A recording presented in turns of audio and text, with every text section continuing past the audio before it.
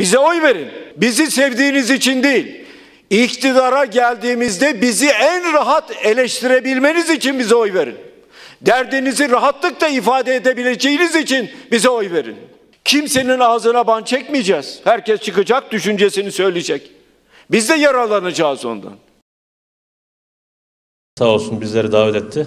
Biz de davete icabet etmek sünnettir üslubuyla davete icabet ettik. Rahmetli Alparslan Türkeş'in hemşerisi ve yeğeni olarak. Dedemden bu yana yaklaşık 93 yıllık bir muhtar ailesiyiz. Günümüzde gerçekten muhtarlarımız bugün Cumhurbaşkanlığı Köşkü'nde karşılanıyor. Güzel bir şekilde ağırlanıyor. CHP'li olmayan bir vatandaş olarak, bir dernek başkanı olarak bugüne kadar CHP'ye oy vermedim genel başkanım. Amcam, dayım verenler oldu ama ben şahsıma oy vermedim.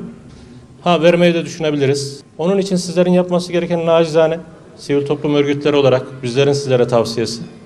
Bütün örgütlerinizin Kayseri gibi çalışmasını temenni ediyorum.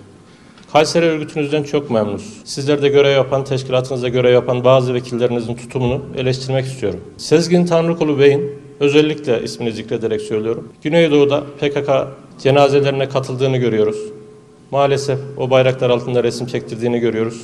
Özellikle son zamanda hukuku bulan Mersin milletvekilimizin belki de maksadını aşan konuşması bizleri gerçekten incitmiştir. Ali Mahir Bey'in son konuşmasını gerçekten talihsiz buluyorum ve de gerçekten eleştiriyorum, kınıyorum. Hepimizin tek bir görevi vardır. Temel görevi teröre karşı durmaktır.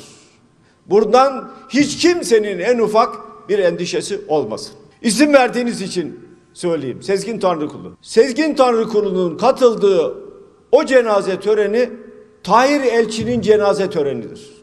Cenaze törenine bütün siyasi partilerden katılım var. Sosyal medyada Photoshop yapılıyor. Tabutun başına bir terör örgütünün bayrağı konuyor. Sezgin Tanrıkulu'yla yan yana getiriliyor ve yayınlanıyor.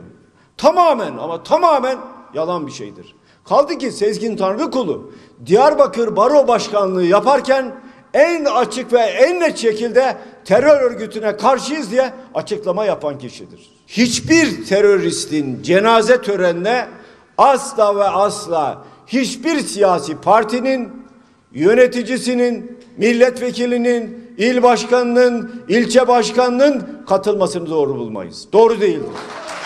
Doğru değildir. Televizyondaki bir tartışma programı. Olay ne? Tank palet fabrikası. Değeri ne kadar? 20 milyar dolar. 20 milyar dolarlık Türkiye Cumhuriyeti Devleti'nin ordusuna ait bir tank palet fabrikası Katar ordusuna sıfır fiyatta verildi. Ordu diyoruz. Şehitlerimiz diyoruz. Peki ordunun hakkını hukukunu kim savunacak? Peygamber ocağını kim savunacak? Mustafa Kemal'in ordusunu kim savunacak? Gelelim muhtarlara. Aslında girişi böyle yapmayacaktım. Giriş sadece muhtarlara özgüydü.